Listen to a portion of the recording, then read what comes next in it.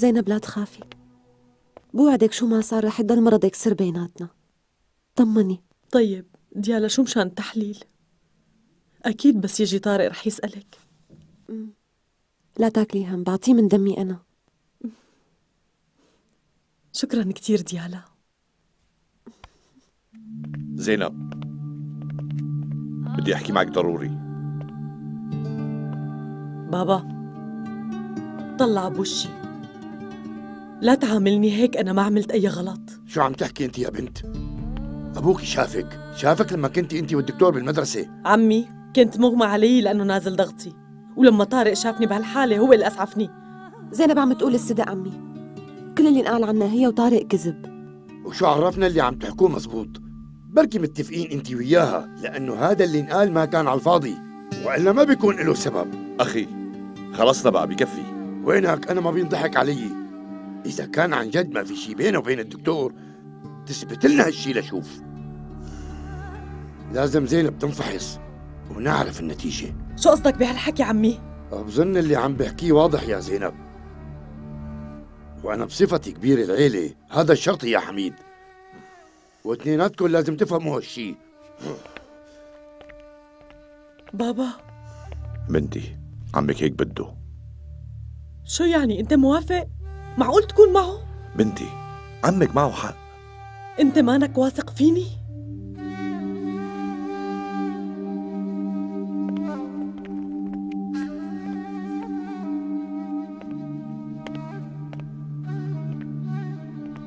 الله يكون بعونك يا زينب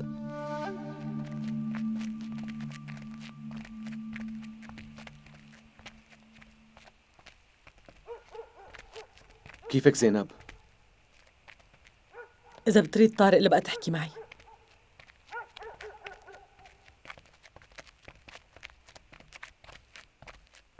دكتور. شو كنت عم تحكي مع بنتي؟ كنت عم اسألها إذا تحسنت.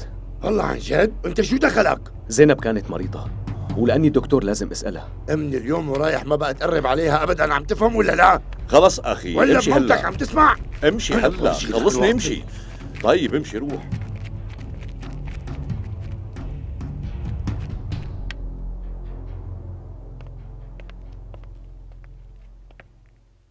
أخذت الدم من زينب؟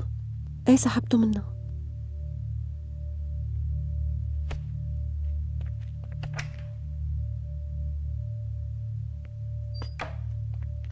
شو لوين رايح دكتور؟ لولاكي كانوا رح يقتلوا لطارق وأنا خايفة إنه يأذوه ويعملوا له شي. هدول جماعة قادرين وما رح يريحوا لطارق أبدا. اسمعيني شوي. طيب شو رأيك؟ نتعاون أنا وياكي ونبعد طارق من هالضيعة. أصلا أنا بعرف شو بدك. بدك تبعديني عن ابني بأي طريقة.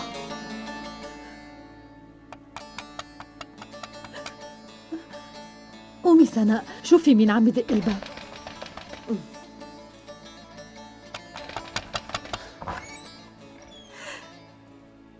أهلا وسهلا دكتور طارق. حابب أحكي معك شوي خالتي سناء.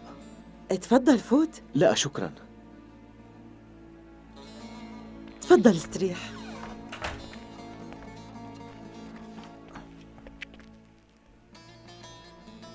خالي شو كان بدك تقولي لي؟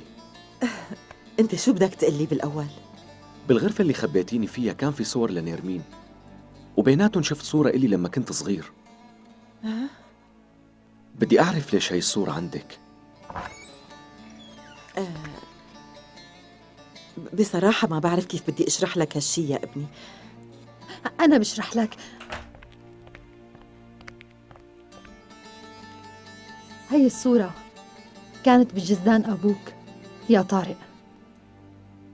ولما مات أبوك كانت الست سناء بجنبه وهي أخذت الجزدان. وهي حبت إنه تحتفظ بصورتك عندها. قولي مو هيك يا ست سناء؟ طيب وشو كنت بدك تحكي لي؟ آه، يمكن هي كانت بدها تقلك إنه جزدان كان معها. وأصلا نحن كنا عم نحكي عن نفس الموضوع من شوي. أنا أجيت مشان أعرف هذا الشيء. وكمان جيت لحتى أتشكرك لأنك أنقذتي لي حياتي شكراً. هذا واجبي يا أبني.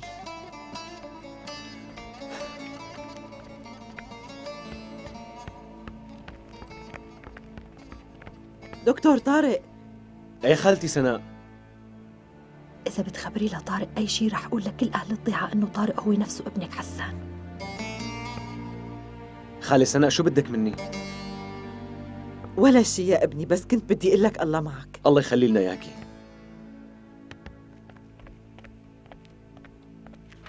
أصلا أنت اللي قلتي قدامهم إنه طارق هو حسان وبسببك بنتي نرمين هربت من الضيعة. هدي أعصابك شوي سناء. بالخناق ما فينا نلاقي حل. أنا عم فكر بطارق وشو رح يصير فيه. هلأ صرتي بدك تحطي الحق علي وتقولي أنا السبب كل هالمشاكل؟ أصلا أنتوا طول عمركم أعداء مع بعض. وإذا بيعرفوا إنه طارق هو نفسه حسان ما رح يخلوه عايش ولا دقيقة. فكري شوي بمستقبله. انت لازم تحطي إيدك بإيدي يا سناء ونتعاون أنا وياكي. ساعديني مشان أرجع أنا وياه على إسطنبول. وبعد فترة انت بتلحقينا. وقتها قولي له كل شي بدك إياه. وأنا كمان بوعدك أعترف له بكل شي بدك إياه. بركي كنتي عم تكذبي علي. بوعدك وعد شرف يا سناء. طالما عم تقولي هيك موافقة.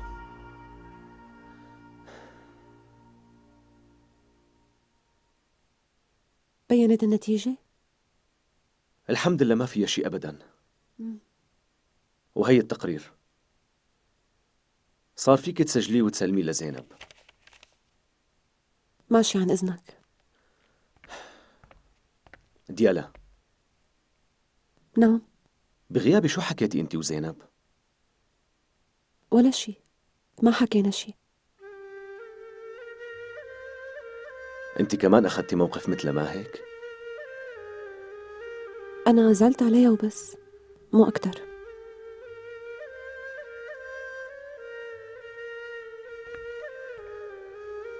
طيب بتحب إني أخبرها بأي شي؟ هي ما بدها تحكي معي ويمكن معها حق. أنا برأيي إنه الأحسن ضب أغراضي وروح من الضيعة بقى. طارق شو عم تحكي؟ الله يوفقك لا تفكر بهيك شي. الضيعة كلها محتاجة لك بعرف يا ديالا